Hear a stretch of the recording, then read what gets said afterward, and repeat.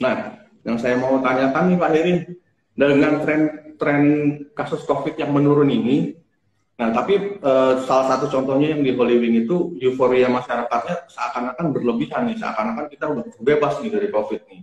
Nah, kira-kira apa sih yang jadi penyebab masyarakat kok euforianya sebesar ini gitu, Pak Heri? Iya, uh, setelah ada PPKM darurat dari tanggal 2 Juli dan sekarang sudah di tanggal uh, eh, 6 atau 7 uh, eh, September, September itu hampir dua bulan memang masyarakat itu dibatasi ya kegiatannya dan uh, seiring dengan semakin membaiknya uh, uh, menurunnya penularan uh, kepercayaan diri masyarakat itu untuk keluar rumah untuk melakukan mobil mobilitas itu juga meningkat Nah, hmm. ini yang kemudian uh, seperti menimbulkan euforia di masyarakat bahwa COVID ini sudah uh, selesai. Padahal kita tahu bahwa uh, semuanya masih bisa terjadi dan risiko terjadinya peningkatan penularan itu juga masih terbuka dalam kondisi uh, seperti sekarang gitu.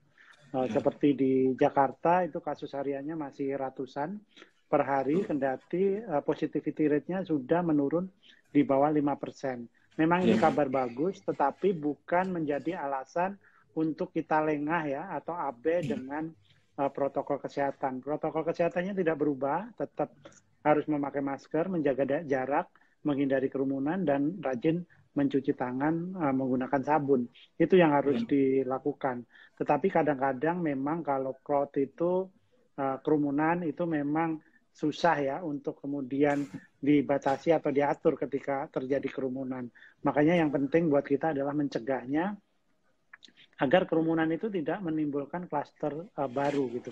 Ya, yeah. makanya dalam instruksi Menteri Dalam Negeri terkait dengan perpanjangan PPKM ini kan SOP-nya juga sudah jelas uh, bagaimana uh, kafe atau rumah makan memang diizinkan terbuka bisa dibuka tetapi dengan pengunjung yang terbatas ya maksimal 50% yeah. dan uh, waktu makan juga dibatasi.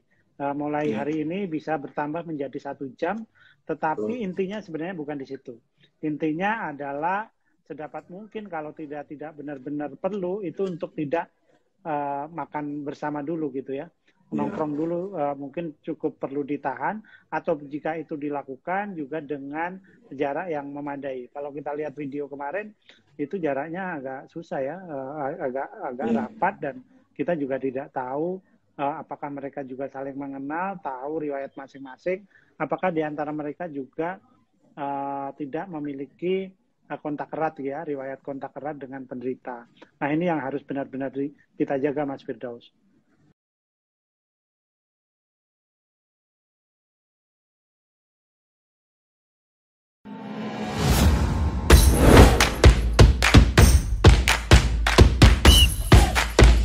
ayam kalau diaduk-aduk jadi cair. Seriously? Diaduk kayaknya ya.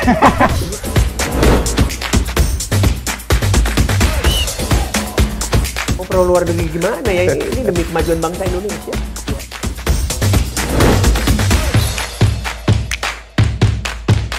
Isu kebangkitan uh, PKI ini uh, dihentikan.